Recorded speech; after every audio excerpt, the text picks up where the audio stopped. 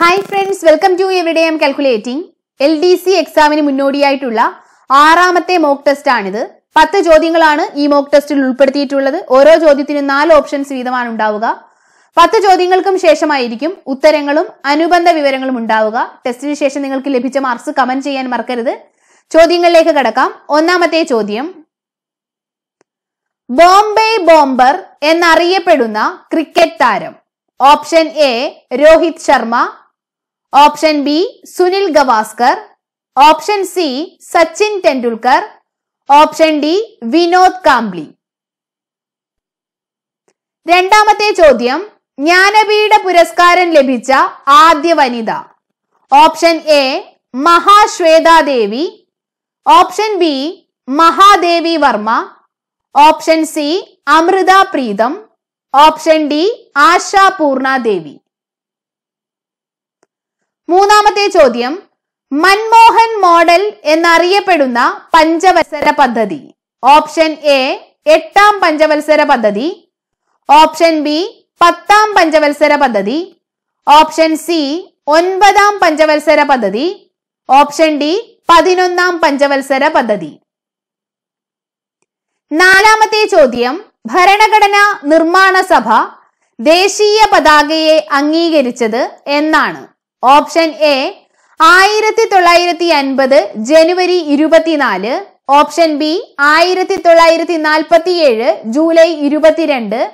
Option C ആയിരത്തി തൊള്ളായിരത്തി അൻപത് ജനുവരി ഇരുപത്തിയാറ്. ഓപ്ഷൻ ഡി ആയിരത്തി തൊള്ളായിരത്തി നാൽപ്പത്തി ആറ് ഡിസംബർ പതിമൂന്ന്. അഞ്ചാമത്തെ ചോദ്യം. ഇന്ത്യൻ തപാൽ സ്റ്റാമ്പിൽ പ്രത്യക്ഷപ്പെട്ട ആദ്യ തിരുവിതാംകൂർ രാജാവ്. Option A Swathi Thirunal. Option B Sreemoolam Thirunal. Option C Uthram Thirunal Marthanda Varma. Option D ആയില്യം തിരുനാൾ രാമവർമ്മ. ആറാമത്തെ ചോദ്യം. ന്യൂ ഡെവലപ്മെന്റ് ബാങ്കിന്റെ ആസ്ഥാനം. Option A Delhi. Option B Shanghai option C Manila option D Johannesburg ഏഴാമത്തെ ചോദ്യം ഇലക്ഷൻ കമ്മീഷനെ കുറിച്ച് പ്രതിപാദിക്കുന്ന അനുച്ഛേദം.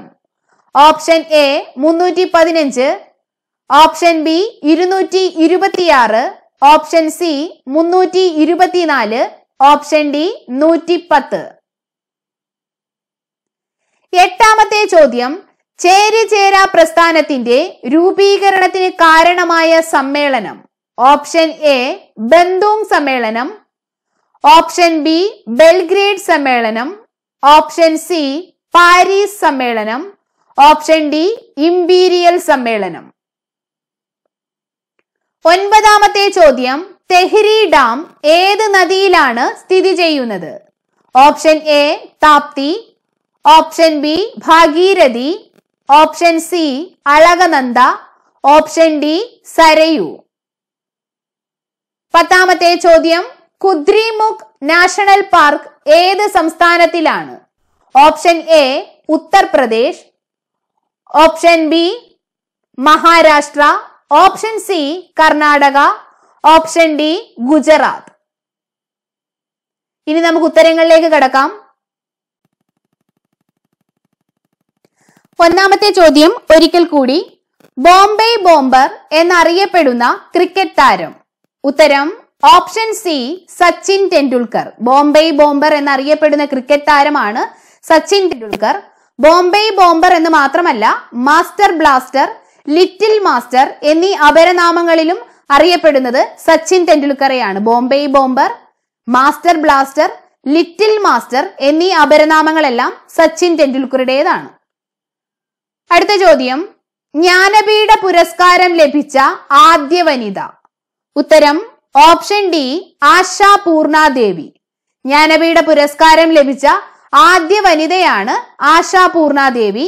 ആയിരത്തി തൊള്ളായിരത്തി എഴുപത്തി ആറിലാണ് ആശാ പൂർണാദേവിക്ക് ജ്ഞാനപീഠ പുരസ്കാരം ലഭിച്ചത്. ആയിരത്തി തൊള്ളായിരത്തി എഴുപത്തി ആറിലാണ് ആശാ പൂർണാദേവിക്ക് ജ്ഞാനപീഠ പുരസ്കാരം ലഭിച്ചത്. ജ്ഞാനപീഠ പുരസ്കാരം ലഭിച്ച ആദ്യ വ്യക്തി ജി ശങ്കരക്കുറുപ്പാണ്. ജ്ഞാനപീഠ പുരസ്കാരം ലഭിച്ച ആദ്യ വ്യക്തി ജി ശങ്കരക്കുറുപ്പാണ്. ആയിരത്തി തൊള്ളായിരത്തി അറുപത്തി അഞ്ചിലാണ് ജി ശങ്കരക്കുറുപ്പിന് ജ്ഞാനപീഠ പുരസ്കാരം ലഭിച്ചത്. ആയിരത്തി തൊള്ളായിരത്തി അറുപത്തി അഞ്ചിലാണ് ജി ശങ്കരക്കുറുപ്പിന് ജ്ഞാനപീഠ പുരസ്കാരം ലഭിച്ചത്. രണ്ടായിരത്തി പത്തൊൻപതിൽ ജ്ഞാനപീഠ പുരസ്കാരം ലഭിച്ചത് അക്കിത്തം അച്യുതൻ നമ്പൂതിരിക്കാണ്. രണ്ടായിരത്തി പത്തൊൻപതിൽ ജ്ഞാനപീഠ പുരസ്കാരം ലഭിച്ചത് അക്കിത്തം അച്യുതൻ നമ്പൂതിരിക്കാണ് അൻപത്തി അഞ്ചാമത് ജ്ഞാനപീഠ പുരസ്കാരമായിരുന്നു രണ്ടായിരത്തി പത്തൊൻപതിലേത് അടുത്ത ചോദ്യം. മൻമോഹൻ മോഡൽ എന്നറിയപ്പെടുന്ന പഞ്ചവത്സര പദ്ധതി. ഉത്തരം ഓപ്ഷൻ എ എട്ടാം പഞ്ചവത്സര പദ്ധതി. മൻമോഹൻ മോഡൽ എന്നറിയപ്പെടുന്ന പഞ്ചവത്സര പദ്ധതി എട്ടാം പഞ്ചവത്സര പദ്ധതിയാണ്. ആയിരത്തി തൊള്ളായിരത്തി തൊണ്ണൂറ്റി രണ്ട് മുതൽ ആയിരത്തി തൊള്ളായിരത്തി തൊണ്ണൂറ്റി ഏഴ് വരെയാണ് എട്ടാം പഞ്ചവത്സര പദ്ധതിയുടെ കാലയളവ് ആയിരത്തി തൊള്ളായിരത്തി തൊണ്ണൂറ്റി രണ്ട് മുതൽ ആയിരത്തി തൊള്ളായിരത്തി തൊണ്ണൂറ്റി ഏഴ് വരെയാണ് എട്ടാം പഞ്ചവത്സര പദ്ധതിയുടെ കാലയളവ്. എട്ടാം പഞ്ചവത്സര പദ്ധതിയുടെ അടിസ്ഥാന ലക്ഷ്യം മനുഷ്യ വികസനമായിരുന്നു ഹ്യൂമൻ ഡെവലപ്മെന്റ് ആയിരുന്നു. എട്ടാം പഞ്ചവത്സര പദ്ധതിയുടെ അടിസ്ഥാന ലക്ഷ്യം national stock exchange Panchayat Raj എന്നിവ നിലവിൽ വന്നതും ഇന്ത്യ ലോക വ്യാപാര സംഘടനയിൽ അംഗമായതും എട്ടാം പഞ്ചവത്സര പദ്ധതി കാലത്താണ്. National stock exchange Panchayat Raj എന്നിവ നിലവിൽ വന്നതും ഇന്ത്യ ലോക വ്യാപാര സംഘടനയിൽ അംഗമായതും എട്ടാം പഞ്ചവത്സര പദ്ധതി കാലത്താണ്. ജനകീയ പദ്ധതി എന്നറിയപ്പെടുന്ന പഞ്ചവത്സര പദ്ധതിയാണ് ഒൻപതാം പഞ്ചവത്സര പദ്ധതി. ജനകീയ പദ്ധതി എന്നറിയപ്പെടുന്ന പഞ്ചവത്സര പദ്ധതിയാണ് ഒൻപതാം പഞ്ചവത്സര പദ്ധതി കേരള മോഡൽ വികസന പദ്ധതി എന്നറിയപ്പെടുന്ന പഞ്ചവത്സര പദ്ധതിയാണ് പത്താം പഞ്ചവത്സര പദ്ധതി. കേരള മോഡൽ വികസന പദ്ധതി എന്നറിയപ്പെടുന്ന പദ്ധതി പഞ്ചവത്സര പദ്ധതിയാണ് പത്താം പഞ്ചവത്സര പദ്ധതി. മൻമോഹൻ മോഡൽ എന്നറിയപ്പെടുന്നത് എട്ടാം പഞ്ചവത്സര പദ്ധതി ജനകീയ പദ്ധതി എന്നറിയപ്പെടുന്ന പഞ്ചവത്സര പദ്ധതി ഒൻപതാം പഞ്ചവത്സര പദ്ധതി കേരള മോഡൽ വികസന പദ്ധതി എന്നറിയപ്പെടുന്ന പഞ്ചവത്സര പദ്ധതി പത്താം പഞ്ചവത്സര പദ്ധതി. അടുത്ത ചോദ്യം. ഭരണഘടനാ നിർമ്മാണ സഭ ദേശീയ പതാകയെ അംഗീകരിച്ചത് എന്നാണ്. ഉത്തരം ഓപ്ഷൻ ബി ആയിരത്തി തൊള്ളായിരത്തി നാൽപ്പത്തി ഏഴ് ജൂലൈ പന്ത്രണ്ട്. ഭരണഘടനാ നിർമ്മാണ സഭ ദേശീയ പതാകയെ അംഗീകരിച്ചത് ആയിരത്തി തൊള്ളായിരത്തി നാൽപ്പത്തി ഏഴ് ജൂലൈ ഇരുപത്തിരണ്ടിനാണ്. ഭരണഘടനാ നിർമ്മാണ സഭ ദേശീയ ഗാനത്തെയും ദേശീയ ഗീതത്തെയും അംഗീകരിച്ചത് ആയിരത്തി തൊള്ളായിരത്തി അൻപത് ജനുവരി ഇരുപത്തിനാലിനാണ്. ഭരണഘടനാ നിർമ്മാണ സഭ ദേശീയ ഗാനം ദേശീയ ഗീതം എന്നിവയെ അംഗീകരിച്ചത് ആയിരത്തി തൊള്ളായിരത്തി അൻപത് ജനുവരി ഇരുപത്തിനാലിനാണ്. ഭരണഘടനാ നിർമ്മാണ സഭ ദേശീയ മുദ്രയെ അംഗീകരിച്ചത് ആയിരത്തി തൊള്ളായിരത്തി അൻപത് ജനുവരി ഇരുപത്തിയാറിനാണ്. ഭരണഘടനാ നിർമ്മാണ സഭ ദേശീയ മുദ്രയെ അംഗീകരിച്ചത് ആയിരത്തി തൊള്ളായിരത്തി അൻപത് ജനുവരി ഇരുപത്തിയാറിനാണ്. ജവഹർലാൽ നെഹ്റു ലക്ഷ്യപ്രമേയം അവതരിപ്പിച്ചത് ആയിരത്തി തൊള്ളായിരത്തി നാൽപ്പത്തി ആറ് ഡിസംബർ പതിമൂന്നിനാണ്. ജവഹർലാൽ നെഹ്റു ലക്ഷ്യപ്രമേയം അവതരിപ്പിച്ചത് ആയിരത്തി തൊള്ളായിരത്തി നാൽപ്പത്തി ആറ് ഡിസംബർ പതിമൂന്നിനാണ്. നെഹ്റു അവതരിപ്പിച്ച ലക്ഷ്യപ്രമേയമാണ് ഭരണഘടനയുടെ ആമുഖമായി മാറിയത്. ജവഹർലാൽ നെഹ്റു ലക്ഷ്യപ്രമേയം അവതരിപ്പിച്ചത് ആയിരത്തി തൊള്ളായിരത്തി നാൽപ്പത്തി ആറ് ഡിസംബർ പതിമൂന്ന്. നെഹ്റു അവതരിപ്പിച്ച ലക്ഷ്യപ്രമേയമാണ് ഭരണഘടനയുടെ ആമുഖമായി മാറിയത്. അടുത്ത ചോദ്യം. ഇന്ത്യൻ തപാൽ സ്റ്റാമ്പിൽ പ്രത്യക്ഷപ്പെട്ട ആദ്യ തിരുവിതാംകൂർ രാജാവ്. ഉത്തരം option A Swathi Thirunal. Indian തപാൽ സ്റ്റാമ്പിൽ പ്രത്യക്ഷപ്പെട്ട ആദ്യ തിരുവിതാംകൂർ രാജാവ് സ്വാതി തിരുനാളാണ്. തിരുവിതാംകൂറിൽ വാനനിരീക്ഷണ കേന്ദ്രം ഇംഗ്ലീഷ് സ്കൂൾ എന്നിവ സ്ഥാപിച്ചത് സ്വാതി തിരുനാളാണ്. തിരുവിതാംകൂറിൽ വാനനിരീക്ഷണ കേന്ദ്രം ഇംഗ്ലീഷ് സ്കൂൾ എന്നിവ സ്ഥാപിച്ചത് സ്വാതി തിരുനാളാണ്.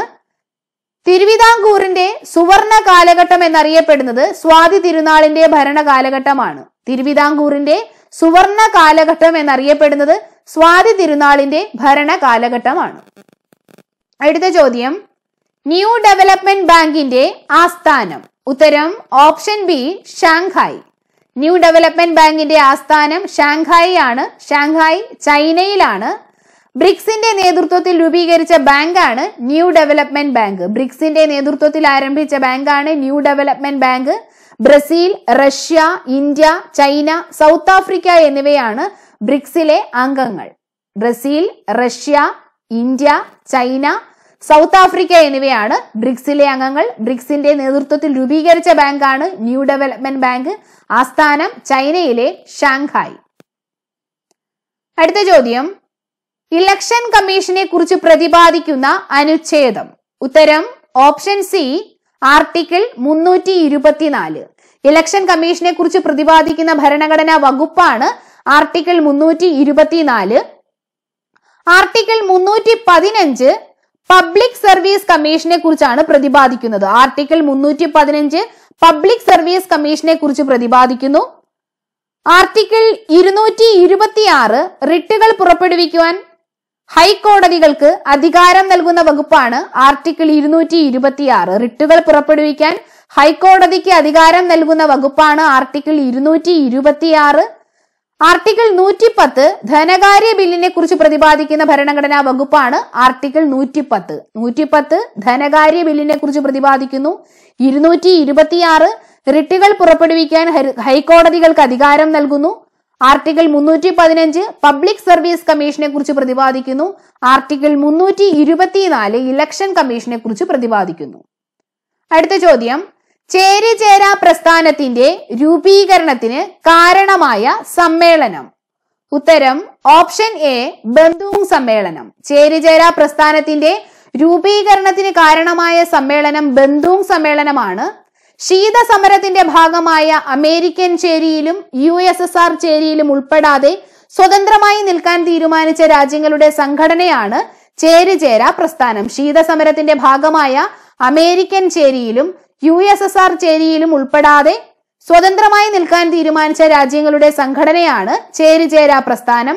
ബന്ധുങ് സമ്മേളനം ചേരിചേരാ പ്രസ്ഥാനത്തിന്റെ രൂപീകരണത്തിന് കാരണമായ സമ്മേളനമാണ് നടന്നത് ആയിരത്തി തൊള്ളായിരത്തി അൻപത്തി അഞ്ചിലാണ് എന്നാൽ ചേരിചേരാ പ്രസ്ഥാനം നിലവിൽ വന്നത് ആയിരത്തി തൊള്ളായിരത്തി അറുപത്തി ഒന്നിലാണ് കാരണമായ സമ്മേളനമായ ബന്ധുങ് സമ്മേളനം നടന്നത് ആയിരത്തി തൊള്ളായിരത്തി അൻപത്തി അഞ്ചിൽ ചേരിചേരാ പ്രസ്ഥാനം നിലവിൽ വന്നത് ആയിരത്തി തൊള്ളായിരത്തി അറുപത്തി ഒന്നിലാണ് ചേരിചേര പ്രസ്ഥാനത്തിന്റെ ആദ്യ സമ്മേളനം നടന്നത് ആയിരത്തി തൊള്ളായിരത്തി അറുപത്തി ഒന്നിൽ ബെൽഗ്രേഡിൽ വെച്ചിട്ടാണ്. ചേരിചേര പ്രസ്ഥാനത്തിന്റെ ആദ്യ സമ്മേളനം ആയിരത്തി തൊള്ളായിരത്തി അറുപത്തി ഒന്നിൽ ബെൽഗ്രേഡിൽ.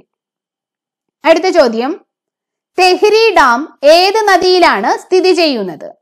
ഉത്തരം option B Bhagirathi. Tehri dam സ്ഥിതി ചെയ്യുന്നത് ഭാഗീരഥി നദിയിലാണ്.